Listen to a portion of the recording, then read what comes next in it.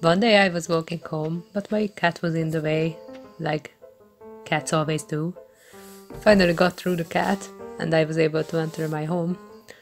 But the cat was also in there. What's going on? Can my cat teleport?